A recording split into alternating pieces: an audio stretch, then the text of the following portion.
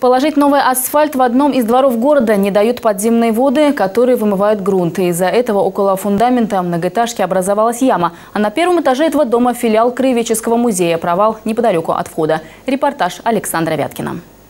Положить новый асфальт во дворе 11 дома по вокзальной магистрали мешает провал. Грунт под старым покрытием размыли подземные воды. Яма образовалась неподалеку от входа в музей природы, прямо около фундамента многоэтажки. Вскрыть участок между двумя однозначно крыльцами, посмотреть, если этот факт подтверждается, то нужно будет делать вертикальную опору и засыпать. Провал уже засыпали, но землю вновь вымыло. Чтобы найти причину подземной проблемы и устранить последствия, проведут масштабные работы. Если потребуется привлечение дополнительных средств, ну, проведем осмечивание, примем соответствующее решение.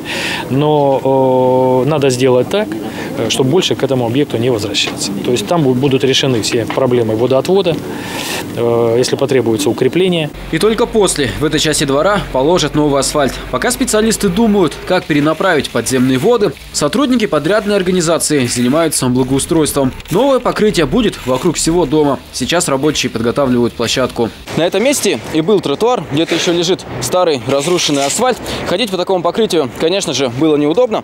В ближайшее время рабочие засыпят это место щебнем, а затем положат новый асфальт.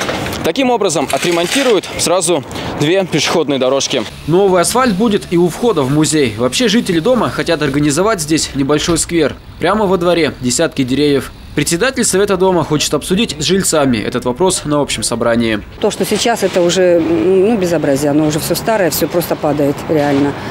Вот, проголосуем, но я думаю, что я сумею убедить, что здесь нужно все деревья менять. Хотелось бы вот этот сквер, который находится, это придомовая территория, Кровеческий музей, гости, в том числе гости города Новосибирска, там посещение. Ну, там начинать надо с того, чтобы ну, указатель был, что это Краеведческий музей.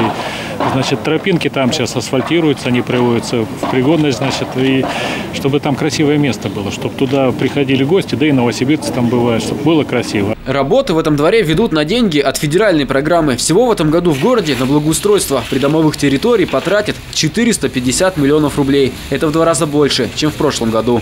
Александр Вяткин, Евгений Макаров, Новосибирские новости. Спасибо за то, что смотрите «Новосибирские новости». Если вы хотите оперативно получать информацию, подписывайтесь на наш канал. Ссылка внизу. А здесь мы разместили для вас интересное и полезное видео. Приятного просмотра.